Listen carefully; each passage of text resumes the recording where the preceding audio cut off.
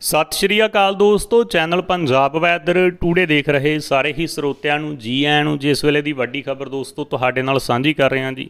ਸਾਵਧਾਨ ਅੰਮ੍ਰਿਤਸਰ 에ਅਰਪੋਰਟ ਤੋਂ ਉਤਰਨ ਵਾਲੇ ਯਾਤਰੀ, ਆਈ ਇਹ ਤਾਜ਼ਾ ਵੱਡੀ ਖਬਰ। ਕਿਤੇ ਰਗੜੇ ਨਾ ਜਾਏ ਉਸ ਵੀਡੀਓ ਨੂੰ, ਅੰਤ ਤੱਕ ਦੇਖ ਲਿਓ ਦੋਸਤੋ, ਜੇਕਰ ਤੁਸੀਂ ਵੀ ਜਹਾਜ਼ ਦੇ ਵਿੱਚ ਕਦੀ ਚੜ੍ਹਨ ਅਤੇ ਉਤਰਨ ਦਾ ਸ਼ੌਂਕ ਰੱਖਦੇ ਹੋ ਤਾਂ ਕਮੈਂਟ ਸੈਕਸ਼ਨ 'ਚ ਯੈਸ ਲਿਖ ਦਿਓ। ਵੀਡੀਓ ਨੂੰ ਲਾਈਕ ਕਰ ਲਓ, ਚੈਨਲ ਨੂੰ ਸਬਸਕ੍ਰਾਈਬ ਕਰਕੇ ਨਾਲ ਘੰਟੀ ਵਾਲਾ ਬਟਨ ਨੱਪ ਦਿਓ।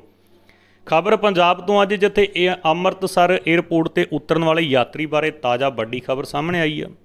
ਅੰਮ੍ਰਿਤਸਰ ਦੇ 에ਅਰਪੋਰਟ ਤੇ ਸੋਨਾ ਸਮਗਲਿੰਗ ਦੇ ਮਾਮਲਿਆਂ ਨੂੰ ਲੈ ਕੇ ਕਈ ਵਾਰ ਚਰਚਾ ਵਿੱਚ ਆਇਆ ਤੇ ਜਿੱਥੇ ਕਸਟਮ ਅਧਿਕਾਰੀਆਂ ਵੱਲੋਂ ਕਈ ਅਪਰਾਧੀਆਂ ਨੂੰ ਗ੍ਰਿਫਤਾਰ ਕੀਤਾ ਗਿਆ, ਉੱਥੇ ਹੀ ਕੁਝ ਦਿਨ ਪਹਿਲਾਂ ਅਮਰੀਕਾ ਤੋਂ ਦਿੱਲੀ ਤੇ ਦਿੱਲੀ ਤੋਂ ਅੰਮ੍ਰਿਤਸਰ ਰਾਹੀਂ ਆਪਣੇ ਘਰ ਪਰਤਣ ਵਾਲੇ ਅੰਮ੍ਰਿਤਸਰ ਦੇ ਰਹਿਣ ਵਾਲੇ ਇੱਕ ਯਾਤਰੀ ਨੂੰ ਇੱਕ ਔਰਤ ਦੇ ਵੱਲੋਂ ਕਸਟਮ ਅਫਸਰ ਬਣ ਕੇ ਠੱਗੀ ਮਾਰਨ ਦੀ ਘਟਨਾ ਸਾਹਮਣੇ ਆਈ ਹੈ ਮਹਿਲਾ ਵੱਲੋਂ ਉਸ ਵਿਅਕਤੀ ਨੂੰ ਫੋਨ ਕਰਕੇ ਕਿਹਾ ਗਿਆ ਕਿ 35 ਲੱਖ ਰੁਪਏ ਦੀ ਕੀਮਤ ਵਾਲੇ ਪਾਰਸਲ ਵਾਸਤੇ 1 ਲੱਖ ਰੁਪਏ ਦੀ ਆਨਲਾਈਨ ਫੀਸ ਮੰਗੀ ਗਈ। ਸੋ ਉਸਨੇ ਕਿਹਾ ਕਿ ਤੁਹਾਡਾ ਪਾਰਸਲ ਆਇਆ, ਜਿਸ ਦੀ ਕੀਮਤ 35 ਲੱਖ ਹੈ ਪਰ ਤੁਸੀਂ ਇਸ ਦੀ ਪਰਚੀ 1 ਲੱਖ ਦੀ ਕਟਵਾਓ।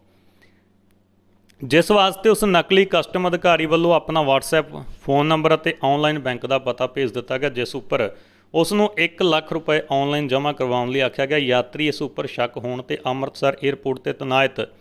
ਕਸਟਮ ਅਧਿਕਾਰੀਆਂ ਦੇ ਨਾਲ ਇਸ ਸੰਬੰਧੀ ਗੱਲਬਾਤ ਕੀਤੀ, ਜਿਸ ਬਾਰੇ ਕਸਟਮ ਅਧਿਕਾਰੀਆਂ ਨੇ ਸਪਸ਼ਟ ਕੀਤਾ ਕਿ ਉਹਨਾਂ ਵੱਲੋਂ ਕੋਈ ਵੀ ਅਜਿਹਾ ਕੰਮ ਨਹੀਂ ਕੀਤਾ ਜਾ ਰਿਹਾ। ਇਸ ਘਟਨਾ ਨੂੰ ਲੈ ਕੇ ਦਿੱਲੀ 에ਅਰਪੋਰਟ ਤੇ ਕਸਟਮ ਵਿਭਾਗ ਵੱਲੋਂ ਨਕਲੀ ਮਹਿਲਾ ਅਫਸਰ ਅਤੇ ਉਸ ਦੇ ਗਰੋਹ ਦੀ ਭਾਲ ਕੀਤੀ ਜਾ ਰਹੀ ਹੈ। ਹੈਰਾਨੀ ਜਨਕ ਪਹਿਲੂ ਸਾਹਮਣੇ ਆ ਰਿਹਾ ਕਿ ਉਹ ਨਕਲੀ ਮਹਿਲਾ ਕਸਟਮ ਅਫਸਰ ਨੂੰ ਯਾਤਰੀ ਦਾ ਫੋਨ ਨੰਬਰ ਤੇ ਪਤਾ ਕਿੱਥੋਂ ਮਿਲਿਆ। ਮੁਸਾਫਰਾਂ ਨੂੰ ਠੱਗਣ ਦੇ ਅਜੀਬੋ-ਗਰੀਬ ਮਾਮਲੇ ਸਾਹਮਣੇ ਆ ਰਹੇ ਹਨ, ਜਿੱਥੇ ਔਰਤਾਂ ਦੇ ਵੱਲੋਂ ਗੁਰੂਆਂ ਦੇ ਨਾਲ ਮਿਲ ਕੇ ਅਜਿਹੇ ਕੰਮਾਂ ਨੂੰ ਅੰਜਾਮ ਦਿੱਤਾ ਜਾ ਰਿਹਾ। ਸੋ ਸਾਵਧਾਨ ਹੋ ਜੋ ਦੋਸਤੋ, ਬਚ ਕੇ ਰਹੋ, ਜ਼ਮਾਨਾ ਬਹੁਤ ਮਾੜਾ ਆ ਗਿਆ। ਜੇ ਸਹਿਮਤ ਹੋ ਤਾਂ ਕਮੈਂਟ ਸੈਕਸ਼ਨ 'ਚ ਯੈਸ ਲਿਖ ਕੇ ਵੀਡੀਓ ਨੂੰ ਸ਼ੇਅਰ ਕਰ ਦਿਓ। ਧੰਨਵਾਦ।